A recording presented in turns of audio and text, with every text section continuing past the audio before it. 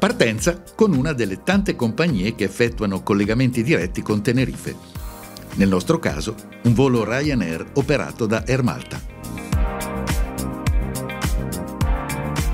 La rotta prevede il sorvolo delle disabitate montagne dell'Andalusia e delle suggestive e affascinanti formazioni nuvolose, quasi sempre presenti sull'Oceano Atlantico, a largo della costa marocchina.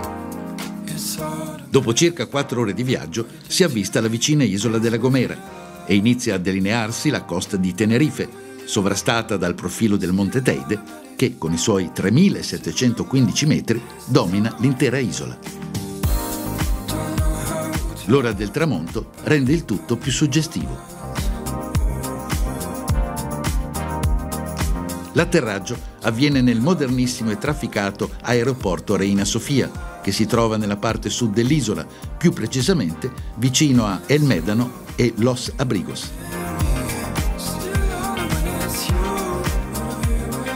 Quello di Tenerife Sud è per numero di passeggeri il secondo scalo delle isole Canarie, dopo quello di Gran Canaria, ma è il primo dell'isola di Tenerife.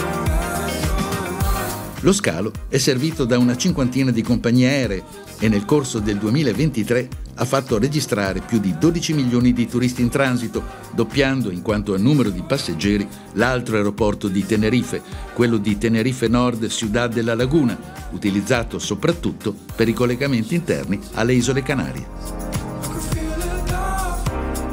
Per avere un'idea, il traffico aereo complessivo di Tenerife supera quello degli aeroporti di Milano Linate e Bologna messi assieme.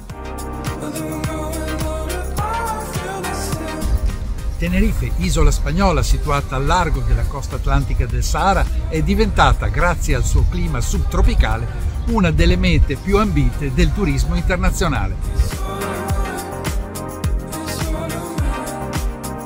Sono davvero tanti i vettori che con partenza dall'Italia offrono voli per questa destinazione, ma vediamo ora di scoprire insieme le bellezze di quest'isola.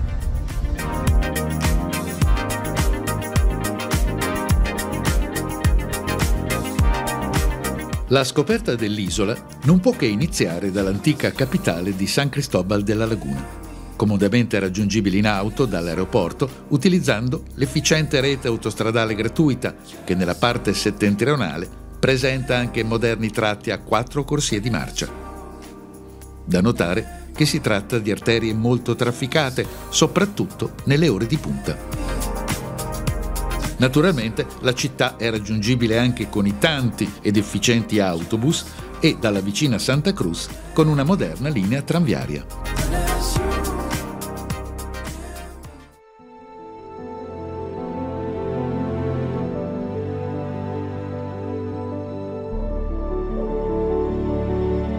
San Cristobal della Laguna è un centro che oggi conta 150.000 abitanti. Situata a 500 metri sul livello del mare, si presenta talvolta coperta da nubi e in certe stagioni non è difficile imbattersi in pioggia e in nebbie persistenti, a dimostrazione dei tanti volti che può assumere quest'isola. Nel giro di pochi chilometri si può passare dal sole cocente alla fitta nebbia. A volte il cielo può essere nuvoloso, ma le temperature restano comunque gradevoli. L'antica capitale conserva ancora intatto il ricordo e il fascino della dominazione spagnola delle Canarie, iniziata nella seconda metà del 1400, quando la potenza militare del nascente Stato spagnolo riuscì piano piano a sovrastare la popolazione indigena dei Guanci.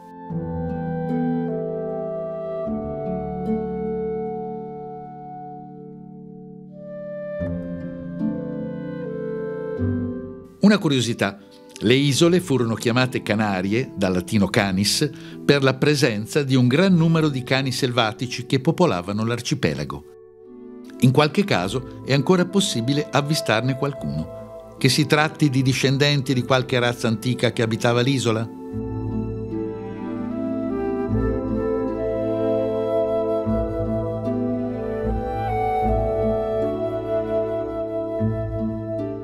A San Cristobal della Laguna tutto parla dell'antico splendore coloniale.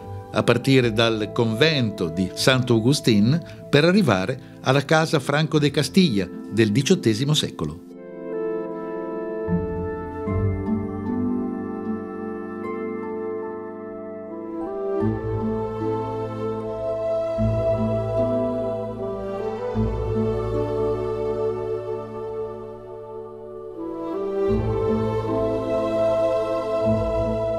Notevole anche Piazza Cattedrale e tutte le altre costruzioni che si incontrano andando a passeggio per il centro storico, dichiarato dall'UNESCO Patrimonio Mondiale dell'Umanità.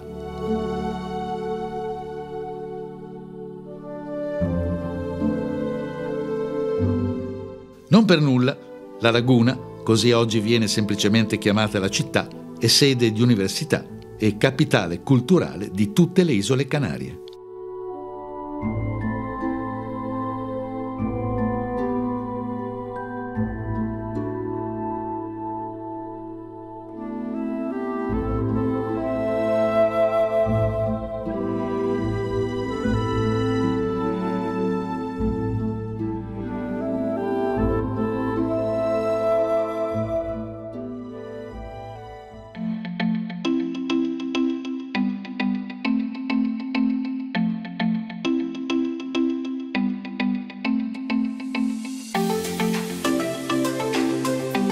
Dalla capitale storica passiamo al capoluogo attuale dell'isola, Santa Cruz de Tenerife, che sorge sul mare a soli 10 km dalla laguna.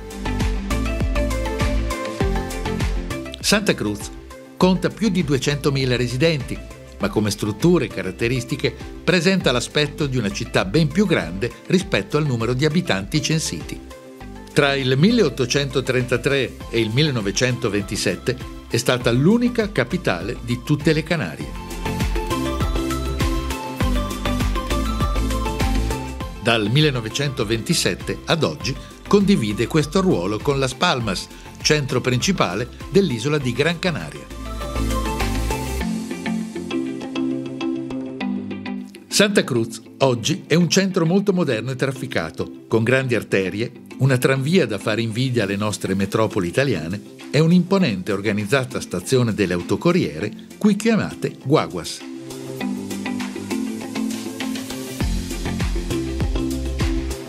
Ma l'economia della città si basa oggi soprattutto sulla presenza del porto.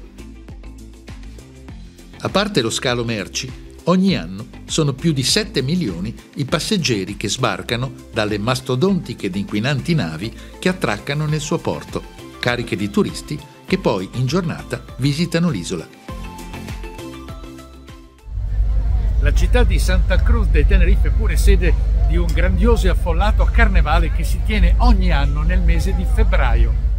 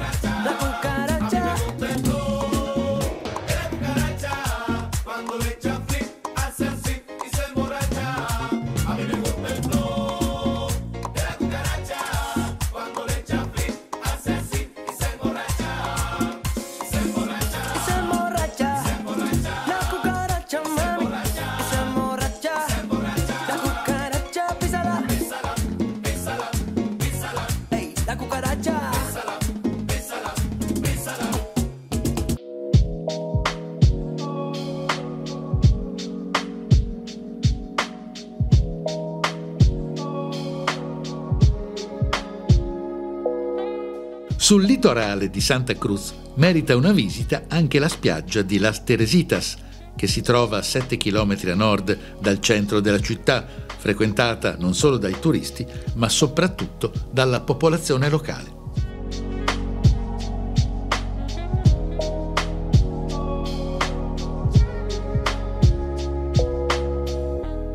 Si tratta di un litorale davvero particolare, molto bello e suggestivo, non soltanto per la presenza di numerose palme, ma anche in quanto sulla spiaggia nera di origine vulcanica è stata trasportata sabbia bianca proveniente dal vicino deserto del Sahara.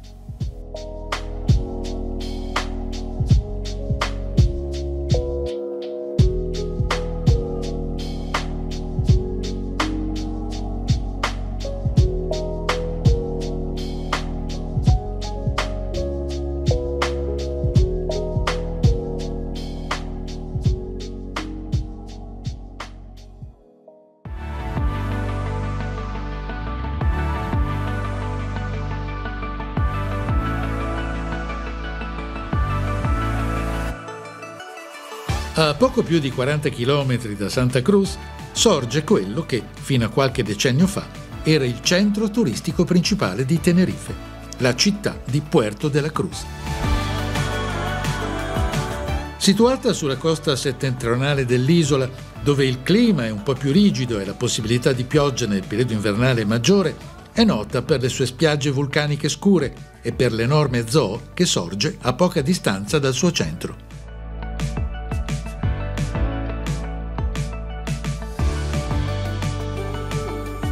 In questi ultimi decenni, forse per le temperature che sono più fresche rispetto a quelle del sud dell'isola, è un po' meno frequentata dai turisti, in particolare da quelli italiani, i quali si sono spostati nella parte sud di Tenerife.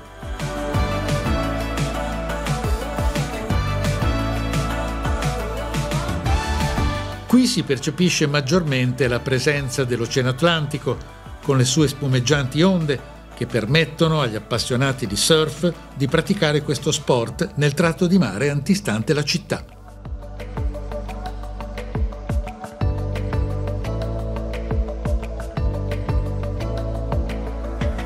Sullo splendido lungomare, frequentato da migliaia di turisti, sorge il lago Martianez, un complesso di piscine di acqua salata davvero stupendo, progettato dall'architetto César Manrique.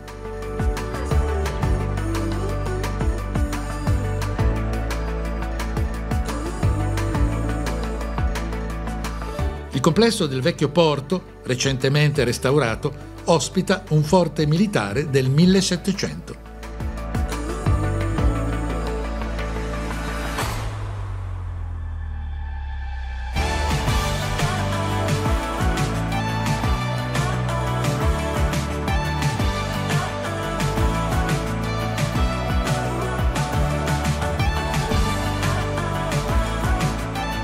Molto interessanti anche le costruzioni che si richiamano al passato coloniale.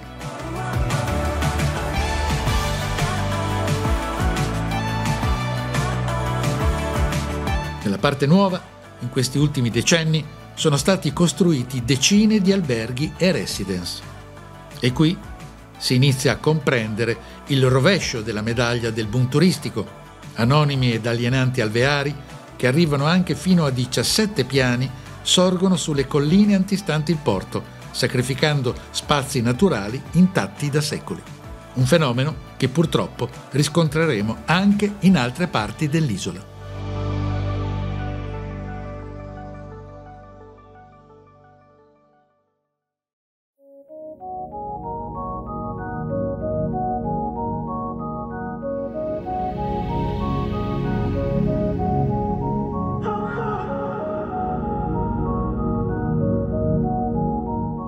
Giunto il momento di trasferirci al sud, cioè in quella parte di Tenerife che negli ultimi 30 anni ha visto un maggiore aumento del flusso turistico, grazie al suo clima più caldo e secco rispetto a quello del versante nord.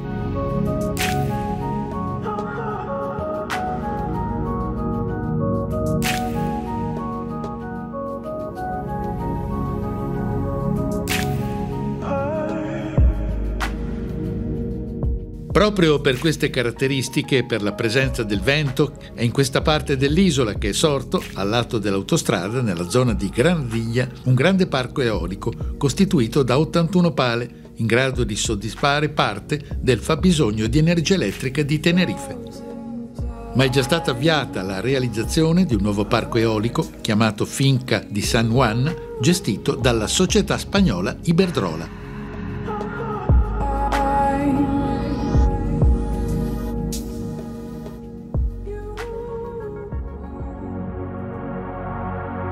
In questa zona di Tenerife, accanto alle pale eoliche, ci si può anche imbattere in alcuni luoghi che ci ricordano come poteva essere il paesaggio fino a qualche anno fa. Primo fra tutti la Candelaria, uno dei centri più antichi dove si possono ritrovare le origini guance dell'isola. Il turismo ovviamente è arrivato anche in questo luogo, ma in misura più discreta. È bello percorrere le sue strade piene di negozi e di artigianato locale e ammirare le celebri statue di Piazza della Patrona che rappresentano i nove reguanci che governarono Tenerife prima della dominazione spagnola.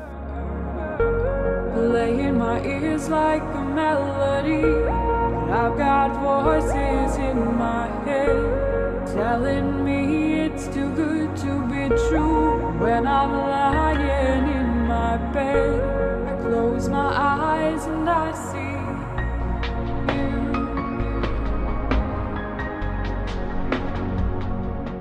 Tappa obbligata la visita all'interno della suggestiva cattedrale di Nuestra Signora della Candelaria, detta la Morenita, patrona dell'isola. I close my eyes.